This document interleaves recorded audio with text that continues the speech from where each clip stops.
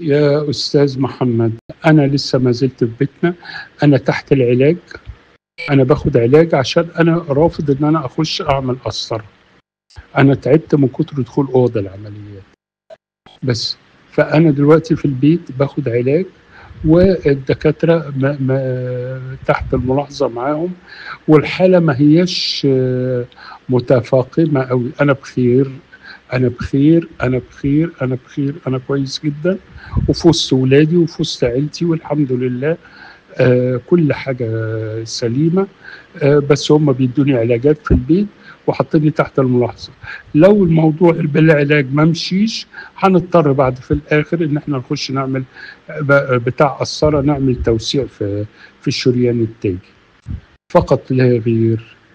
لكن أنا لا دخلت مستشفيات ولا أنا مقيم في مستشفى ولا بيعملوا لي عمليات والموضوع أنا خايف بعد كده يقول لك دخل في قلب مفتوح وعمل وكل يعني إيه كل واحد بيدعي إنه صحفي في موقع من المواقع ولا واحدة بتدعي إنها صحفية في موقع من المواقع. تكبر الموضوع بقى وتكتب خيال ال ال ال الخيالها المريض ي- يوصلنا بقى لأن إحنا بنعمل قلب مفتوح بقى وممكن بنغير شرايين في القلب وممكن بير- بيركبوا لي قلب غير قلبي يعني انت عارف اما الواحد خياله بيسرح مع نفسه كده أنا كويس أنا بخير أنا في وسط ولادي وفي وسط عيلتي وبتعالج ولو العلاج ما جابش نتيجة إن شاء الله هخش أعمل قسطرة والنتيجة ما هياش يعني ال- الحالة ما هياش آه، مستشرية قوي ولا هي آه، صعبة ولا هي خلاص آه، الأجل حان.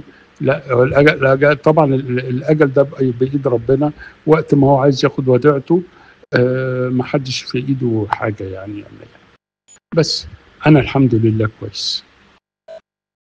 والعلم حضرتك أنا في حالة من العصبية والتوتر بسبب اللي بتعمله فيها المواقع ال- الأخبارية. ده من ضمن الضغوطات النفسية اللي عليا. لأن ما فيش حاجة أنا بتكلم كلمة إلا لما بيحرفوها وبيقولوا عليا بيقولوا كلام غير اللي أنا قلته وغير اللي أنا أقصده وغير ال- الهدف منه. هو برضو بنفس ال- الوضع. أنا لا قلت إن أنا دخلت مستشفى ولا أنا قلت إن أنا آه خلاص بي هيعملوا لي مش عارف ولا قلت الكلام ده كله. قلت أنا لسه في دور الكشف وال- والعلاجات اللي بالأدوية. والله حضرتك تعبت تعبت تعبت.